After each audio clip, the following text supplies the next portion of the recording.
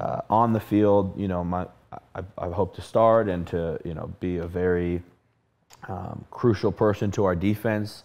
I was a part of the number one defense in the NFL last year, and so um, you know help some of the guys on my team understand what, what, was successful for us there and what we can try to replicate and do in our own way in in Minnesota.